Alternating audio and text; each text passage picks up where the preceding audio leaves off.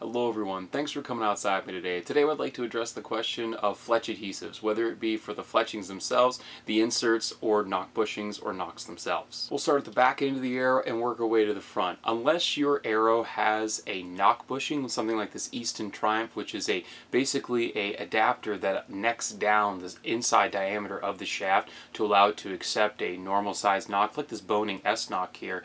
Unless it has something like this, you don't need to glue your nocks in place unless you have a cap nock or a particular type of nock for like a bamboo arrow. In modern day carbon and aluminum arrows, the nocks are meant to be able to twist and be able to be moved around to orient the fletchings for whatever type of rest you're using. However, for the bushing itself, if it's not already installed or if it pops out and you need to re-glue it back in, you can use any type of cyanoacrylate you want, or basically any kind of crazy glue or super glue that you want. It's not under a whole bunch of stress, unlike the point. Uh, it gets pushed on more than it gets pulled on, and so you can use a hot melt, you can use a super glue type of thing, you can use a two-part epoxy, really doesn't matter. However, of course, with whatever glue you use, going from hot melt to epoxy means it's going to be in there and probably removable to in there and you're probably never going to get it out. So when it comes to the Fletch adhesive, it gets a little more heated and a little more debated, but I prefer a uh, slow set gel, nothing fast set. I like a slow set epoxy-like gel. It glues kind of rubbery, almost like a rubber cement, allows that fletching to have more give. Sure, it takes 48 hours for it to fully cure, whereas some people are using uh, glues that'll uh, set up in just a matter of seconds or minutes. So it's kind of a matter of trial and error. See what you like, see what's going to stick to your arrow, try uh, fletching to the bare aluminum or to the bare carbon. Try a wrap, try different styles of wraps, see what works for you and see what kind of glue you like. Now for the business end of the arrow, whether it's a glue-in point like this Easton Triumph point or it's an RPS insert,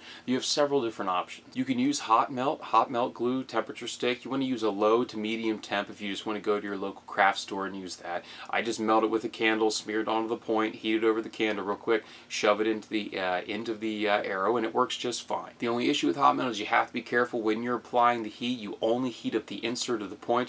You do not apply any heat directly to the carbon. You can get away with an aluminum arrow because, well, it's metal. It'll take the heat just fine, but you can't uh, directly heat a carbon arrow with a torch or with a candle or a lighter as it could potentially damage the carbon fibers and make the arrow unsafe to shoot. You can also use some sort of cyanoacrylate, some sort of super glue, crazy glue. There's a lot of different options on the market. Heck, you can just Google it and find 50 different opinions in 50 seconds. It's not that big of a deal. As long as you find something that keeps the insert of the point in, doesn't pull out, really doesn't matter what you use. Um, if I'm not using hot melt personally, I will use, and this is just Brampton, but any sort of long cure 2020 golf shaft epoxy. If it's good enough to keep a golf head into a golf shaft and deal with all that torque and all that energy of a guy driving a golf ball a couple hundred miles an hour, it's going to be able to take care of an arrow. Again, this is a 48 hour cure, long cure, but it's meant to withstand that high force, that high impact of a golf head and a golf shaft twisting and torquing while it hits a golf ball.